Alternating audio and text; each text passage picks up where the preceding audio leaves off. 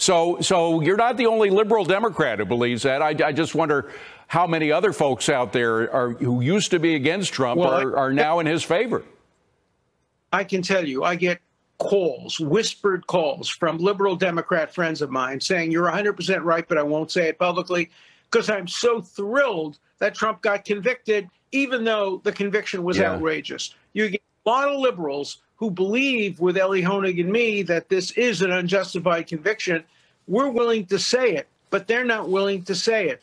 And there's dancing on the streets, and there are people who are just, I get these emails. They're so thrilled that we violated the Constitution in order to get Trump. I have people telling me getting Trump elected is worse is worse than undoing the Constitution. That's how extreme some of these uh, people are.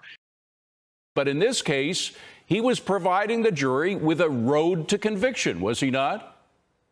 Yes, in fact, the day before the conviction, I wrote a column saying this was a directed verdict by the judge, that the judge was directing the jury to convict. And by yeah. the way, he didn't have to. The jury would have convicted anyway. Once the jury was selected from New York voters, 85% of whom don't want to see Trump as their president, the die was cast. This case should right. have been tried in a different county. It should have been tried in Staten Island or in Rockland County where you get some chance of getting a fair jury. This was an unfair jury from the beginning. So the judge didn't even have to go as far as he went, yeah. but he did. And he essentially ruled in a way that made it impossible, impossible for the jury to acquit or even to hang. Right.